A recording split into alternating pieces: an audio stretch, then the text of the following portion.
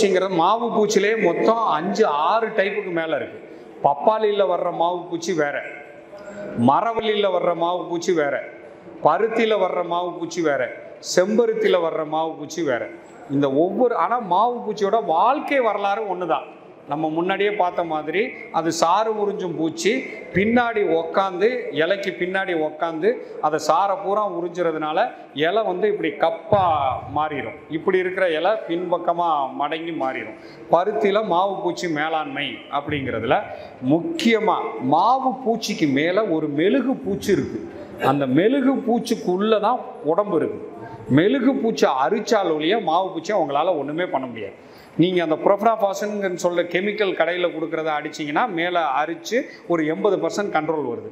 ஆனால் அதே அளவு இயற்கையில் கண்ட்ரோல் வரணும் அப்படின்னு நினச்சிங்கன்னா மாவு பூச்சி ஒன்று ரெண்டு பார்க்கும்போதே இப்போ நான் சொல்கிற எல்லாமே முன்னெச்சரிக்கை தடுப்பு நடவடிக்கை தான். வந்து ஃபில் பில்டப் ஆன பின்னாடி ஒன்றும் பண்ண முடியாது. ஒன்று ரெண்டு பார்க்கும்போதே வெறும் தண்ணியை ஸ்ப்ரே பண்ணணும். அது சுருள் வடிவ வெள்ளையாக இருந்தாலும் சரி மாவு பூச்சியாக இருந்தாலும் சரி இலைப்பேன் தத்துப்பூச்சி எதாக இருந்தாலும் வெறும் தண்ணியை ஸ்ப்ரே பண்ணணும். வெறும் தண்ணியை ஸ்ப்ரே பண்ண அரை மணி நேரம் கழித்து சோப்பு தண்ணி சோப்பு தண்ணினா ஒரு லிட்டர் தண்ணிக்கு இவ்வளோ தான் சோப்பு தூள். சோப்பு தூள் நீங்கள் என்ன தூள் வேணாலும் ஏரியல் ரென்னு சுப்ரீமு எது வேணாலும் இவ்வளோ தான் சோப்பு தூள். ஒவ்வொரு லிட்டர் தண்ணிக்கும் இவ்வளவு சோப்பு தூளை எடுத்து போட்டு கரைச்சிங்கன்னா சோப்பு தண்ணியாக மாறிடும். அந்த சோப்பு தண்ணியை ஸ்ப்ரே பண்ணணும். சோப்பு தண்ணியை ஸ்ப்ரே பண்ணும்போது மேலே இருக்க அந்த மெழுகு பூச்சி கரைய ஆரம்பிக்கும். கரைஞ்ச பின்னாடி பச்சை மிளகாய் இஞ்சி பூண்டு கரைசல். மூணு தடவை ஸ்ப்ரே அது இது வேலை இது அவ்வளோதான் இயற்கையில் தான் நம்ம பண்ணணும். நான் மாவு பூச்சியை கண்ட்ரோல் பண்ணணும் அப்படின்னா ஏன்? மூணை சேர்த்து அந்த டைமிங் வேணும். மொதல் தண்ணி அடிக்கும்போது அதை ரெஸ்ட்லெஸ்ஸாக ஆக்குறீங்க. மழை பெய்யுதோ அப்படின்னு அதுக்கு மைண்ட் செட்டை உருவாக்குறீங்க. யாருக்கு மைண்ட் செட்டை உருவாக்குறீங்க? பூச்சிக்கு. அப்போ பூச்சி உக்காந்த இடத்த விட்டு மூவ் பண்ண ஆரம்பிக்கும். மூவ் பண்ண அரை மணி நேரத்தில் சோப்பு தண்ணி அடிக்கிறீங்க. மேலே இதாக கரைக்கிறீங்க. மூணாவது பச்சை மிளகாய் இஞ்சி பூண்டு கரைசல் அடிக்கும்போது மேலே பட்டு ஆனால் மூணு வேலை. மூணு எக்ஸ்ட்ரா வேலை. வேப்பங்கொட்டை வெள்ளைப்பூண்டை கரைசல் இதுக்கு வேலை செய்யாது. அவர் அருமையான கேள்வி கேட்டார். ஏன்னா இதுக்கு மேலே பட்ட உடனே சொரீருங்கணும் அதுக்கு பச்சை மிளகாய் இஞ்சி பூண்டு கரைசல் தான் நல்லது. மீன் அமினோ அமிலம். வேப்பங்கொட்டை வெள்ளைப்பூண்டு சார் இதுக்கு வேலைக்கு ஆ மா இந்த கேள்வியை நம்ம அசுவினி இது பண்ணும் போதே வந்திருக்கணும்.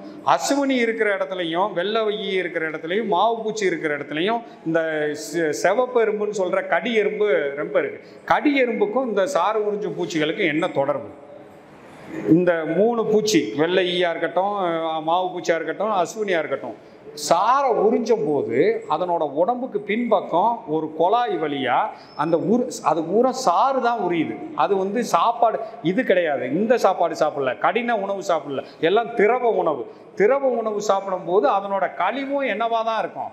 திரவ உணவாக தான் இருக்கும். ஐம்பது மடங்கு தின்ன நாற்பத்தெட்டு மடங்கு திரவ உணவை வெளியே அனுப்பும்போது அதை வெளியே வர்றது பூரா சர்க்கரை ஜூஸ் அந்த சர்க்கரை ஜூஸை குடிக்கிறதுக்காக இந்த கடியெறும்பு போகுது. இந்த கடியெறும்பு வாய் ஃபுல்லாக ரெம்பி அது குடிச்சிட்டு அப்புறம் வாய் ஃபுல்லாக ரெப்பிக்கிட்டு கூட்டுக்கு வந்து குஞ்சுகளுக்கு அந்த சக்கரை தண்ணியை குடித்து குஞ்சு வளர்க்குது எறும்பு.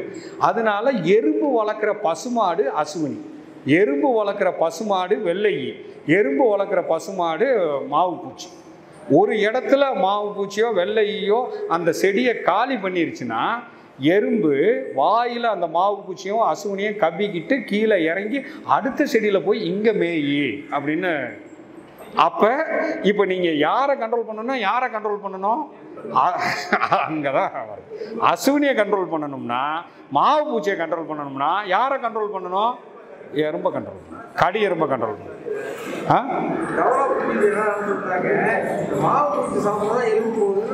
அது அது இதுதான். மாவு பூச்சியை சாப்பிட்றதுக்கு தான் எறும்பு இல்லை மாவு பூச்சியை வளர்க்குறதுக்கு தான் எறும்பு பூச்சி போகும் அசுவினியை வளர்க்குறதுக்கு தான் எறும்பு பூச்சி போகுது.